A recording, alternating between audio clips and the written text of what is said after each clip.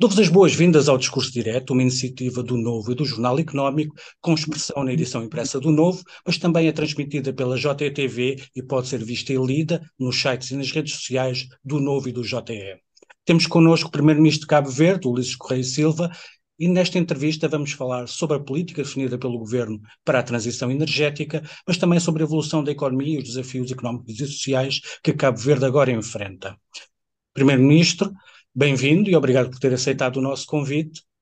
Eu começo por lhe perguntar como se concretizou agora um grande entendimento para converter parte da dívida de Cabo Verde a Portugal no Fundo Climático e Ambiental, que agora será 12 milhões de euros, mas pode chegar até aos 140 milhões. Pergunto-lhe que objetivos tem o Governo para a transição energética e qual a importância deste acordo para concretizar esses objetivos? Ah, muito obrigado, em primeiro lugar, pela, por esta disponibilidade, esta possibilidade de conversar eh, convosco. Uh, nós temos objetivos ambiciosos, por razões evidentes, de um país que tem um nível de dependência energética muito elevado. dependemos 80% de importação de tudo aquilo que produzimos em termos de combustíveis, gasóleo, gasolina, fuel, eletricidade, e precisamos reduzir drasticamente essa dependência. Em segundo lugar, temos fatores, e e matérias-primas eh, naturais eh, para a produção de energia, como o sol, eh, o vento e o mar. E com esta crise provocada pela guerra na Ucrânia, devido ao impacto inflacionista, a escalada inflacionista particularmente incidente sobre a energia, nós tivemos que reforçar a nossa opção de aceleração da transição energética com metas muito ambiciosas. É, metas que já vinham de trás. Não estabelecemos Sim. estas metas por causa da crise atual. É, nós temos como meta é, atingir 54% ou mais de energias renováveis na produção de eletricidade em 2030, atingirmos próximo dos 100% em 2040, através de energia solar, energia eólica e reforçar a eficiência energética. Temos uh, metas também ambiciosas a nível de mobilidade elétrica, viaturas elétricas, aliás, já uh, este, este processo, uh, podemos atingir 100%, 100 em 2050. os motivos são de natureza económica, porque é, é, é, evidente que o impacto sobre a balança de pagamentos será forte, a fatura energética, também a redução da fatura energética para as empresas e para, para as famílias, e o impacto ambiental, eh, porque eh, toda esta mudança em termos de transição de fontes de produção de combustíveis eh, terá um impacto também na neutralidade carbónica que queremos atingir em 2050. Segundo lugar, nós somos um país que tem problemas muito sérios relativamente à regularidade de chuvas. O problema que se coloca hoje em muitos países, e nós eh, acompanhamos, fala-se em seca severa, também na Europa, aqui em Cabo Verde, é com regularidade mais frequente e mais, eh, mais intensa. há mais de 50 anos, Cabo Verde tem o uso de do sistema de desalinização de água, por osmose inversa, para podermos abastecer as populações também para a economia. nós agora estamos a, a focar numa outra orientação, que é a utilização da desalinização de água para a agricultura. E baixar os custos dessa produção com um forte Sim. nexo entre a água e a energia. Portanto, será a produção de água a preços muito mais comportáveis eh, com o uso de energias eh, renováveis. Para podermos viabilizar a agricultura, os impactos também eh, serão evidentes a nível eh, da capacidade de produção agrícola, também a nível eh, também do todo efeito energético eh, renovável que nós eh, queremos, eh, queremos introduzir. São estas as grandes metas, objetivos que nós temos para os próximos, próximos tempos e estamos num caminho que nos dá indicações muito claras de que podemos, de facto, atingir. O acordo que nós estabelecemos com Portugal.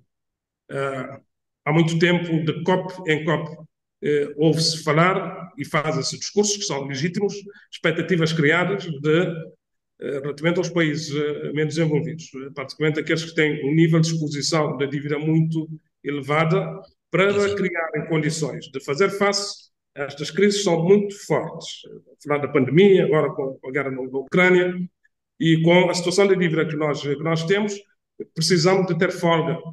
Uh, folga a nível financeiro, a nível orçamental, para podermos investir eh, em fatores que sejam, produzam círculos virtuosos. Torna o país mais, mais resiliente, menos dependente a nível da, a nível da, energia, uh, mais flexível nas soluções de diversificação de fontes de, de irrigação para, para a agricultura que isso depois contribui também para termos menos necessidades de importação, menos necessidade de endividamento futuro eh, para a sustentabilidade da, da, economia. Por isso, este fundo, que nós acabamos por, eh, por acertar e por assinar um memorando, dá respostas àquilo que têm sido os discursos, eh, muitas vezes não concretizados. Não estou a fazer aqui nenhuma crítica relativamente àquilo que a nação global tem estado a fazer, a indicação, os caminhos são esses, mas nós estamos aqui a assinalar que estamos a concretizar. Foi um acordo diferente, não é, não é, um, não é uma solução normal, foi um, foi um acordo, uma forma nova de enfrentarem os problemas que referiu. Sim, inovadora, mas uh, há muito tempo que se diz, uh, com toda a legitimidade e com necessidade de concretizar, o próprio secretário das Nações Unidas, António Guterres, tem chamado a atenção eh, para a ação.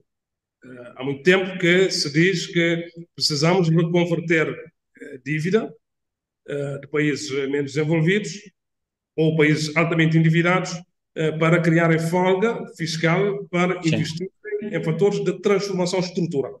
E com Portugal nós conseguimos aqui um mecanismo. Cabo Verde está no processo de criação do Fundo Ambiental e Climático, a contribuição de Portugal é a dívida bilateral que nós temos com, com Portugal, são cerca de 140 milhões de, de euros, eh, poder ser eh, uma contribuição para o fundo. Portanto, libertamos o valor em dívida, aplicamos Sim. na transição energética em outros fatores eh, de resiliência do país, o efeito sobre a dívida é neutro, mas o efeito sobre a resiliência do país é extremamente elevado. Por isso que nós salientamos que todo este mecanismo é uma resposta. E, e como eu disse, no encontro com o Primeiro-Ministro António Costa, nós temos razões eh, para o próximo COP, a próxima COP eh, que vai ter lugar em Abu Dhabi, podemos fazer um discurso diferente, dizer estamos a ver, estamos a concretizar. Mostrar trabalho feito. Eh, quer mais, quer ter mais países a contribuírem para, para este fundo ou a ter mecanismos idênticos para, para, para ajudarem na, na transformação de Cabo Verde. Recordo que esteve agora na Alemanha e a, e a energia também foi um tema. Quer, quer ter a Alemanha, por exemplo, a, a alinhar neste mecanismo? Claro, é, nós só para a transição energética, temos uma necessidade de investimentos até 2030 de 520 milhões de euros. É claro que a contribuição portuguesa uh, não cobre este montante.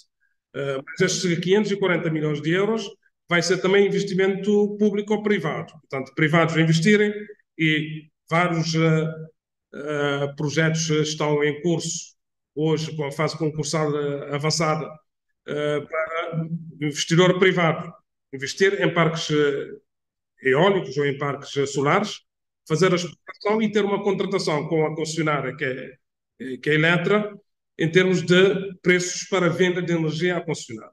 Portanto, é um negócio seguro, certo? E, e precisa de um investimento. O investimento, nesse caso, é privado, dentro de um quadro regulado. É uma parte que estamos a desenvolver também. 65% das nossas necessidades de financiamento para a transição energética vai ser neste mecanismo. Uh, o Fundo Ambiental e Climático uh, vai contar com as contribuições como as que firmamos aqui com, com Portugal, eh, mas também com outros parceiros, eh, donativos, eh, contribuição do próprio Orçamento do Estado. Nós já estamos a trabalhar para lançarmos bond greens, green uhum. bonds, green bonds para podermos criar mecanismos também de financiamento interno. Com a Alemanha, nós trabalhamos também esta vertente. A minha visita foi mais no sentido de posicionarmos uma nova fase da relação uh, a nível de investigação, pesquisa, dos oceanos, atmosfera e das mudanças climáticas. Nós temos o nosso Centro Oceânico de Mindelo, que tem uma parceria privilegiada com a Geomar, que é uma das líderes mundiais em investigação dos oceanos.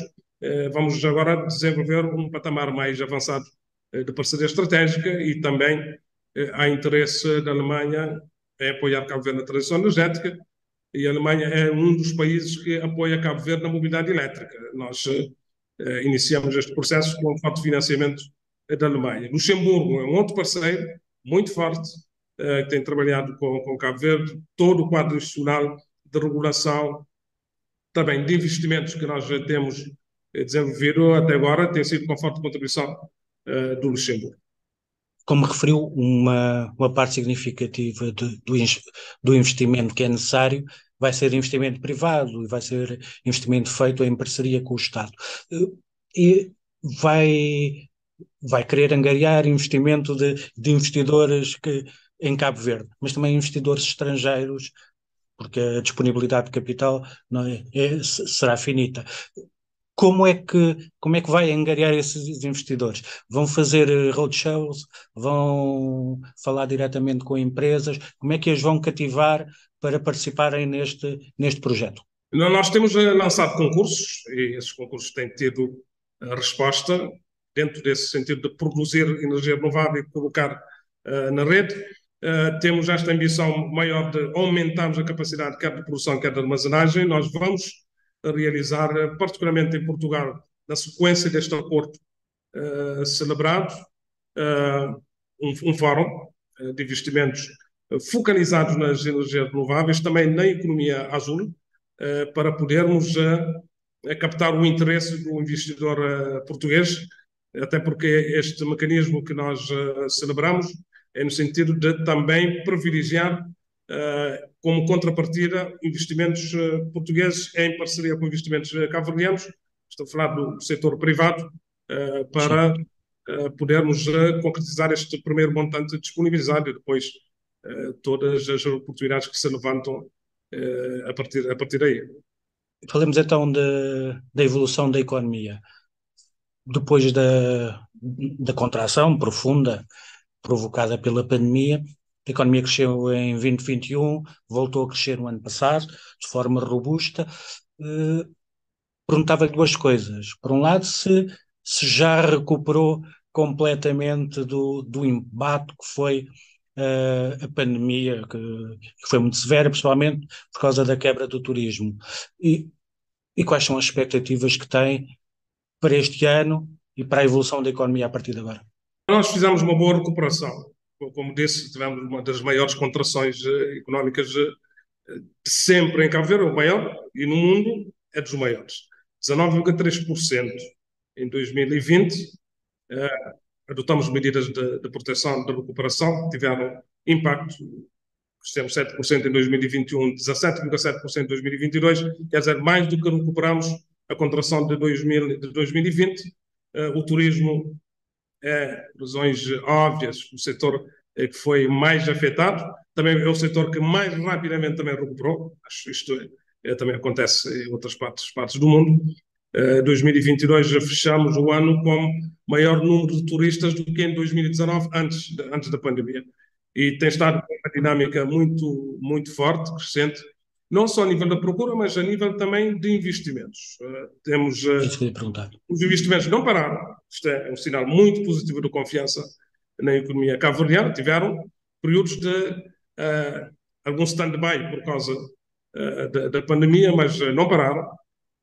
Continuam a haver novos investidores, novas procuras de investimento, portanto, o setor muito, muito dinâmico que vai, que vai crescer, crescer ainda mais. Nós, é claro que temos a intenção de diversificar mais a economia. Sim. preso, eh, preso apenas a um, um setor, no, no, no, bom sentido. E é, e é, por isso que a economia azul aparece como um dos grandes setores. E a transição energética também acaba por ser um motor para a diversificação da economia. Sim, sim, porque cria depois também ofertas, não, só competências que, que também estamos a desenvolver nessa, nessa área, mas a economia azul é um setor uh, importante, a economia digital é outro, temos um potencial grande, como costumamos dizer, não depende da chuva, depende de competências, de talentos, de infraestruturas que temos estado, estado a criar num bom ambiente. Vamos concluir dois centros tecnológicos, um, na praia e outro em São Vicente, precisamente para criar um bom ambiente de atração de investidores também de referência no setor da economia digital. Portanto, são esses setores que vão impulsionar mais o crescimento nos, nos, próximos, nos próximos tempos.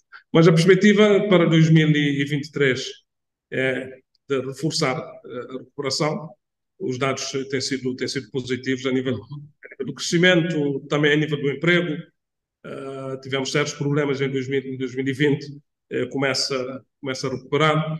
Há uma grande onda de empreendedorismo jovem, uh, por causa dos incentivos também que temos estado a criar para que startups, fomento empresarial jovem, que hoje já estão com uma atitude diferente, não estar a bater nas portas do, do governo, das câmaras municipais para pedir emprego, mas para criarem o seu próprio emprego, criarem, investirem. E nós criamos mecanismos também, instrumentos para isso. Né? Há incentivos fiscais muito fortes, incentivos financeiros muito fortes, uh, linhas de crédito com taxas de juros muito baixas, uh, com garantias que podem chegar a 100% assumidas pelo, pelo próprio pelo Estado uh, portanto, tem estado a dinamizar muito. Uh, portanto, é nesse, é nesse caminho que vai permitir com que possamos não só aguentar o choque que temos tido, como recuperar e relançar a economia para o futuro. Só uma questão antes de irmos para, para um breve intervalo. Uh, falámos da pandemia, mas a, as consequências de, da guerra na Ucrânia também têm sido relevantes, não só pela questão energética, mesmo que a questão energética já, já não seja tão relevante com, como já foi, mas, por exemplo, na alimentação, e de um país de, que acaba por ser muito dependente também de, da importação, eh, é, é muito relevante essa, essa fase também já está a ser ultrapassada. Uh, a última vez que falámos ainda se sentia muito que o esforço orçamental era, era muito relevante. Uh, isso já está, essa situação já está a ser ultrapassada, já, já começam a minorar os efeitos da, da, das consequências da guerra. Sim, mas uh, não totalmente. Ainda estamos a sofrer os, os impactos para Cabo Verde nos últimos, diria, uns 15 anos, 20 anos, andou com, com taxa de inflação à volta de 1, 2%. Exato. Saltamos para 8% em 2022. Isso eh, foi por consequências eh, diretas uh, dos, da escalada inflacionista, quer na energia, uh, quer nos produtos alimentares para a necessidade, nomeadamente cereais. Tem tudo a ver com, com a guerra na Ucrânia. Uh, nós estamos a mais de 6 mil quilómetros da Ucrânia e sofremos as consequências diretas eh, da invasão da Rússia à, à Ucrânia. Isto uh, provocou um impacto muito forte num país que ainda estava com o efeito uh, da pandemia, ainda por cima com o efeito também de, de secas severas, foi um choque muito forte. Algumas medidas de proteção ainda continuam. Nós reduzimos, por exemplo, IVA sobre o IVA sobre a eletricidade de 15 para 8%, ainda mantém-se, porque Ainda não estamos na fase de, de, de preços totalmente estáveis uh, para os níveis uh, anteriores uh, à guerra. mantemos a tarifa social de água e energia que em Cabo Verde foi, foi criada em 2017. nós tivemos que aumentar o desconto da, da, da tarifa de 30% para 50%, proteger as famílias mais, mais vulneráveis. tivemos que criar uma série de compensações eh, porque senão, em vez dos 8%, estaríamos a disparar para 12% de inflação. Exatamente. Isso, é, o impacto seria extremamente. Aliás, a inflação é das coisas mais daninhas que existem. Né? Não, é o imposto é, escondido. Não, não, é, não é na economia teórica, é, é no bolso das pessoas e, na vida das pessoas sente-se diretamente. É, por isso ainda estamos, estamos nessa fase, vamos retirando esses, esses mecanismos de, de apoio gradualmente à medida que eh, possamos estabilizar eh, também eh, gradualmente a economia. Obrigado. Vamos só fazer um, um brevíssimo intervalo e voltamos já a seguir.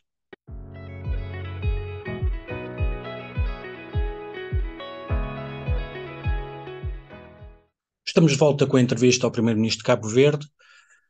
Primeiro-Ministro, o Fundo Monetário Internacional e mesmo os doadores, através do Grupo de Apoio Orçamental, insistido na na necessidade de se concretizarem reformas no país. Agora, com, com a economia a retomar o seu curso, vamos para o terceiro ano consecutivo de crescimento, a expectativa é que o crescimento se mantenha. Há condições para que estas reformas que se concretizem, por um lado. Por outro lado, de que reformas é que nós estamos a falar? Primeira reforma é estabilizar eh, a economia, particularmente eh, questões que têm a ver com, com a dívida e com a consolidação orçamental. E temos estado a conseguir. Nós temos um programa com o Fundo Monetário Internacional que foi avaliado recentemente de forma muito positiva. Uh, a dívida uh, tem estado uh, a decrescer relativamente ao, ao PIB. nós fizemos um rebasing do, do, do PIB que acabou por aumentar um bocado mais aquilo que é a nossa, a nossa produção. Estamos num bom caminho. Isto é fundamental para o país, para a nossa credibilidade, particularmente a nossa credibilidade externa. Uh, segunda reforma é o setor empresarial do Estado. Sim. Ainda privatizações a realizar, concessões. Uh, temos a nossa empresa de eletricidade, a Eletra, que está também a ser preparada uh, para, para o efeito. Uh, devemos novamente pensar na, na, na privatização da, da TACV, depois a fase, da, fase da recuperação e da sua estabilização. Uh, temos uh, algumas outras empresas em, em linha uh, para a tem, tem objetivos definidos para o mandato? quer chegar ao fim do, do mandato com, com o que é privatizado? Olha, com a, a Eletra, uhum. Concessão do, a concessão ou licenciamento dos aeroportos, ainda não definimos qual vai ser o mecanismo, vai ser um, um desses eh, processos dos portos, eh, porque é importante, os aeroportos já, já o fizemos. Eh, temos a, a empresa de medicamentos, a Improfac, distribuição de medicamentos, também está a ser, a ser preparada.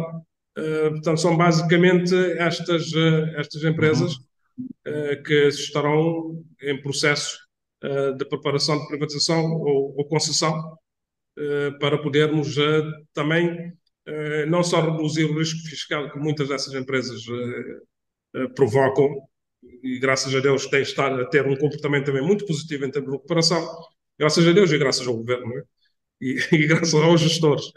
E, e, mas isso não, não retira a necessidade de uh, torná-las mais eficientes. Uh, depois de terem um efeito multiplicador maior sobre a própria economia do, do, do país, uh, portanto, é nessa perspectiva que essas reformas irão ser perseguidas. Depois temos uma outra grande reforma que é a nível da transformação digital do Estado, eh, que é a dita burocracia, eh, a burocracia negativa eh, que, que ainda existe, a transformação digital está no centro das nossas prioridades, com um impacto já evidente em algumas áreas e em alguns serviços, é, é uma das prioridades para podermos tornar a economia mais, mais eficiente, os serviços, mas uh, isso depois impacta em tudo, né? a nível económico, a nível social e a nível institucional. Só para acabarmos este, esta parte relativa às privatizações, uh, até a ACV é sempre, é sempre apontada como um, um caso mais complexo, e é complexo não só pela dimensão da, da empresa, mas também pela situação atual, como estava a dizer ainda, de recuperação, mas também Cabo Verde é um arquipélago e, e há ali objetivos que têm que ser cumpridos. Uh, o país não pode ficar eh, desligado do resto do, do resto dos países. Uh, e é este conjunto de, de, questões que faz com que a privatização demore o seu tempo e tenha, e tenha que ser vista de, de forma diferente de, por exemplo, uma, uma empresa hum, de eletricidade. Primeira pergunta. Segunda pergunta, em, em, em relação a, às necessidades específicas, ser um arquipélago, como é que vão ficar salvaguardadas? Vai querer, uh, o Estado vai manter alguma posição, como acontece por exemplo, em Portugal, em que apesar da privatização há esse objetivo? Eh, primeiro, a TSV não opera no, no mercado interilha, é apenas eh, Sim, para fora. Ações para fora, internacional. Uh, nós uh, temos uh, o propósito, porque o fizemos, vamos repensar de escolher um parceiro estratégico que garanta a participação de 51%, não é? Uhum. Por razões também que são, são às vezes atendíveis, porque precisamos de um parceiro que traga vantagens e para trazer vantagens ter uma posição minoritária muitas vezes é muito mais muito mais difícil de, de conseguir. Uh, depois há uma participação hoje já existente uh, de, de, trabalhadores na, na empresa, uh, abrir o capital também para a nossa comunidade imigrada e abrir uma outra parte para outros investidores privados. Portanto, tínhamos aí a volta de 39% na altura em que fizemos a privatização com a Icelandair. Portanto, neste momento temos os 51% e os 39% Uh, no setor dos transportes aéreos internacionais é essencialmente garantir que haja qualidade e conectividades. O Estado Exato. estará a garantir também a nível dos, dos, contratos um bom posicionamento. A nível doméstico, nós temos um, um operador que é a Bestfly, passou também por, por, algumas dificuldades, está na fase também de recuperação, de consolidação. é um setor que também irá crescer mais em termos de capacidade de oferta. Eh, depois, é claro que sendo ilhas, eh, há sempre esse problema eh, de ilhas com pouca população e com população diferenciada, outras têm menos do que outras, o Estado tem que estar sempre presente.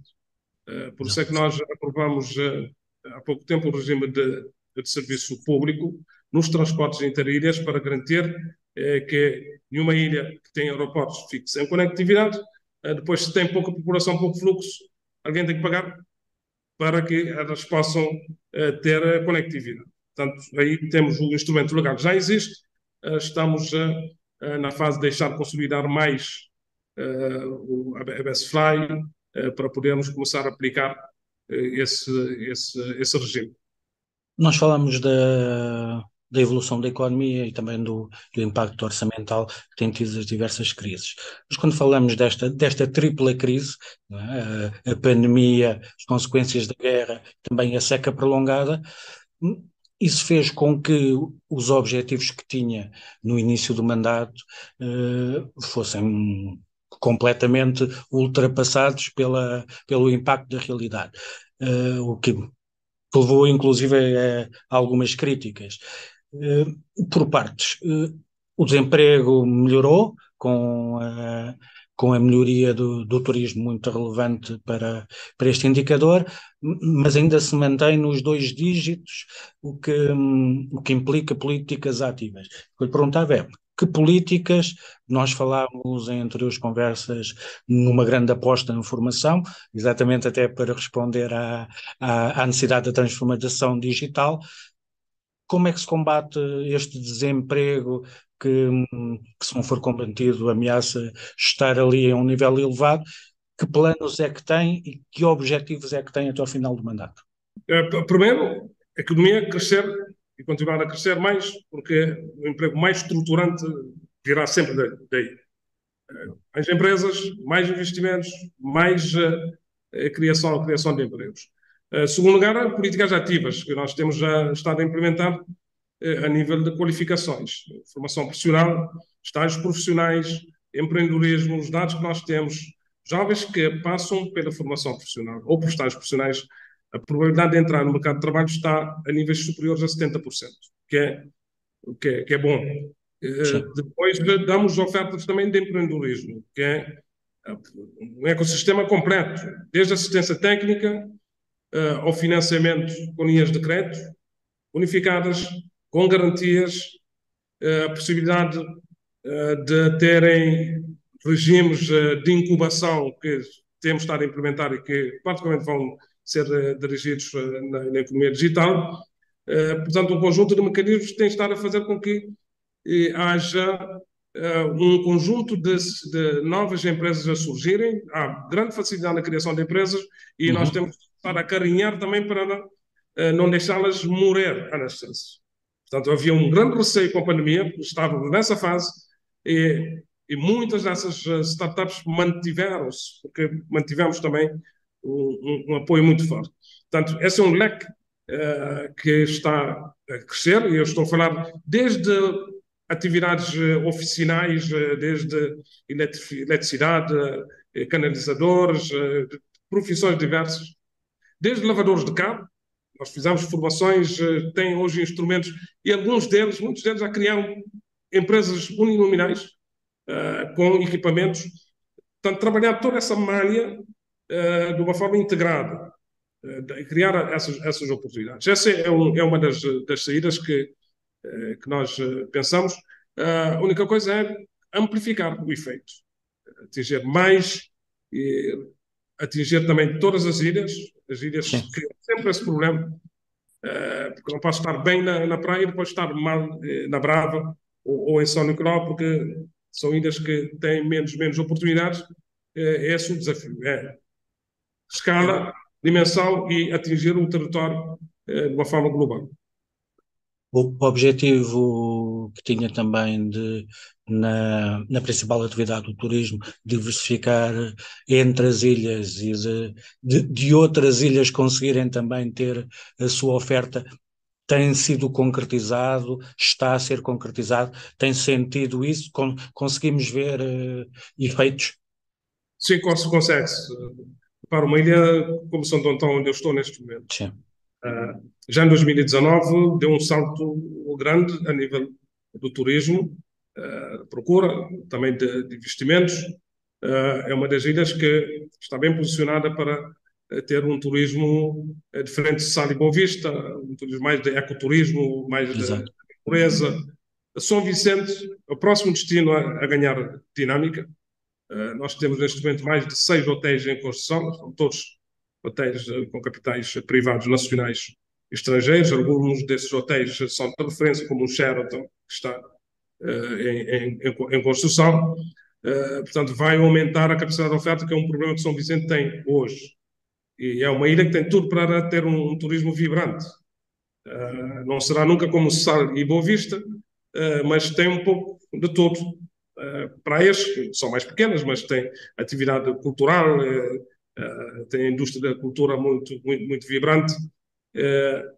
e tem São Antão ali ao lado, que cria complementaridades. A Ilha do Maia é outra ilha que, nos próximos tempos, irá dar, certeza absoluta, um grande uh, avanço a nível do turismo, que tem um investimento uh, muito impactante, uh, líder, líder África, que é muito estruturante, também tem capitais privados e parceria com, com, com, o Estado para desenvolvermos mais o turismo. Pois temos alguns fatores que, que temos que resolver nos próximos tempos com maior aceleração, que são as conectividades que colocam alguns construtores. Chegar a Cabo Verde ainda é caro. Eh, principalmente quando se, quando se viaja na TAP. Ou eh, mesmo na, na TACV, eh, estamos a trabalhar para conseguirmos trazer low costs que não estejam necessariamente ligados aos, aos voos charters que são fechados. Sim. Vem com, com tudo incluído. portanto, estamos neste momento a, a, trabalhar nisso para ver se conseguimos colocar Cabo Verde como um destino de preço mais baixo do que o que nós temos, temos neste momento. Depois, criar boas conectividades internas, isto vai fazer com que todas as ilhas possam ter maior capacidade de, de produção de oferta turística, porque todas elas têm eh, coisas específicas e, e, diferentes e interessantes. Ainda na questão, uh, nas questões sociais, falemos da pobreza, que continua a ser um, um flagelo, ainda por cima por causa da do triplo de desafio das crises. Eh, e eu fazia-lhe as mesmas perguntas: que medidas para combate à pobreza, que objetivos é que tem até ao final do mandato? Nós definimos até 2026 erradicar a pobreza extrema. Uh, se, se for avaliado em função de, de 2 dólares e 15 Sim, cêntimos por dia por, por pessoa, estamos a, a cerca de 14%. Uh, e nós já queremos atacar isso mais do que apenas pela via do rendimento, mas pela via do empoderamento. E temos um programa também muito forte em execução, estratégia uh, para garantir rendimento às famílias que estão nessa, nessa situação e que têm dependentes a cargo, particularmente crianças até os 15 anos. Portanto, criamos um rendimento social de inclusão para garantir esse rendimento para as pessoas. Ao mesmo tempo, trabalhar com essas famílias para a transição para a inclusão produtiva, para não ficarem sistematicamente e para sempre na dependência da transferência do Estado. Para quebrar o ciclo da pobreza. Isso. Depois, nós, na educação, que é um outro fator que provoca muitas vezes esse efeito durável e duradouro da, da pobreza, nós hoje em Cabo Verde o ensino é gratuito, do ensino básico ao ensino secundário, precisamente para não criar barreiras às pessoas. E, e essas barreiras portanto, foram removidas para todos. Né? Educação até o, até o 12 ano gratuito, para pessoas com deficiência que muitas vezes têm barreiras ainda maiores, têm isenção até o ensino superior. E de formação profissional, o Estado assume os custos. Isto já começa a ter um impacto muito grande a nível da redução da abandono escolar, que é importante e, manter as crianças e os jovens na, na escola. Depois criamos uma série de outros mecanismos de, de compensação para as famílias mais, mais pobres, questão da habitação, particularmente a reabilitação de, de casas, taxa social de água e energia, para reduzir o custo para as famílias mais, mais pobres, a taxa moderadora de, de, de saúde, isenção para as famílias mais, mais, pobres, e temos um conjunto, um pacote integrado para fazer as pessoas saírem da, da, pobreza, da pobreza extrema, mas ao mesmo tempo melhorar a, a sua qualidade de vida. Esse é o grande objetivo que nós temos, ao mesmo tempo baixar o nível da, da pobreza absoluta. E estamos no, estamos no, bom, no bom caminho, acho que andaremos aí à volta uh, das, das, das, respostas e dos objetivos atingidos em 2026. Nós já estamos na, na fase mesmo final da nossa conversa, estamos só um bocadinho de política. Para lhe perguntar, em primeiro lugar, como é que olha para as críticas que o Presidente tem feito de, nos últimos tempos, de, um, apontando o que ele considera serem alguns retrocessos em alguns setores e até pedindo um sobressalto cívico para maior participação da sociedade. Uh, eu tive a oportunidade de lhe perguntar a ele como é que tem sido a coabitação, presidência-governo, que ele disse que, que era uma que era uma, uma coabitação com o trabalho regular, Uh, e pergunto também assim se, apesar destas críticas, a coabitação tem sido, tem sido regular, trabalham, têm objetivos a, a cumprir sem, sem que haja instabilidade. Acaba Cabo Verde, uma, nesse, nesse aspecto, é uma democracia já, já madura. Não, não, temos problemas institucionais, as questões não são pessoais e não devem ser pessoais, uh, nem em termos de posicionamentos políticos. É, é o Presidente e o Primeiro-Ministro a presença com as competências, o governo com as suas competências, as linhas vermelhas que ninguém deve ultrapassar e estabelecendo as nossas relações nessa, nessa base. Eh, é claro que as críticas do, do Presidente da República derivam eh, da capacidade da voz que o Presidente da República tem. O governo não tem que estar sempre de acordo. Eh, se diz que há retrocesso, eu digo que não há. E consigo provar que não há retrocesso. E eu comparo com aquilo que é, que é o passado recente e passamos para a próxima fase e as coisas continuam normalmente. Portanto, não há tensão uh, relacionamento institucional, assim como não há tensão no relacionamento também com, com o Parlamento. Uh, isto é, é tranquilo uh, aqui em Cabo Verde e continuará a ser assim. Para terminarmos mesmo, foi, foi recentemente reeleito presidente do, do Movimento para a Democracia, o MPD. Eu perguntava-lhe que, que objetivos é que tem para este seu mandato, que, que se prolonga até 26, eh, que é um ano, que é um ano marcante de, de eleições. O, o que é que pretende fazer até lá? O objetivo que qualquer partido político tem, particularmente do, do arco do poder, é vencer as eleições. E nós temos as autárquicas em 2024, e temos como meta vencer as eleições e, particularmente, recuperar eh, a praia e em 2026 posicionarmos como um partido vencedor uh, nas eleições legislativas. Uh, portanto, há muito trabalho a fazer até lá. Uh, ao mesmo tempo, colocar o MPD como um, também um partido que não seja apenas virado para as questões eleitorais. nós temos responsabilidade de governar, temos responsabilidade perante estas situações de, de crise de fazer transformações que o país já precisa e o ambiente, o contexto político é muito importante para isso. E temos um partido que continua a liderar em termos de ideias, em termos de, de propostas, em termos de reformas, suportar o governo, mas suportar os nossos, as nossas câmaras municipais. Esse, a nossa, esse é o trabalho que temos estado a fazer e vamos continuar a fazer até 2026. Vai-me dizer que, é, que ainda é muito cedo.